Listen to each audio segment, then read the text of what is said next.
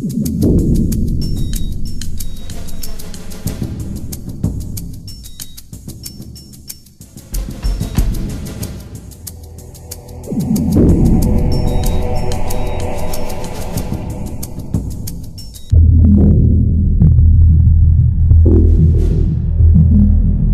horas de esta tarde se registró un nuevo accidente de tránsito. La ruta interbalnearia fue protagonista de un nuevo accidente. En este caso fue a la altura de la localidad de Aguas Verdes, en el acceso exactamente a las 15.50 de este viernes. Se registró el accidente cuando un vehículo Renault intentaba salir a la ruta, fue embestido por un Peugeot 206 que transitaba de sur a norte rumbo a San Clemente del Tuyú.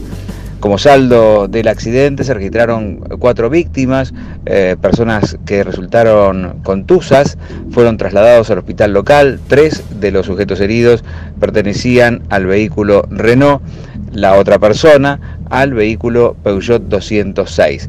Están todos en observación, se evalúa su situación de salud, mientras tanto la policía vial ordenó eh, un desvío para poder de esa manera no detener el tránsito vehicular sobre la cinta asfáltica, cosa que llevó algún tiempo puesto que peritos tuvieron que realizar allí su labor. Poco más tarde la situación quedó totalmente normalizada en la ruta interbalnearia y la circulación va con normalidad.